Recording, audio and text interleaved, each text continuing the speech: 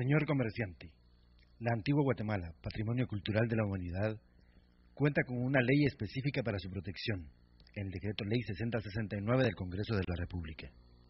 Asimismo, un reglamento específico regula las características de los rótulos permitidos. El objetivo de ello es evitar que la ciudad y sus áreas circundantes se llenen de elementos publicitarios que le son ajenos. Visite la sección de control de la construcción en Capuchinas para obtener más información. Asesórese. Cumpla con la ciudad.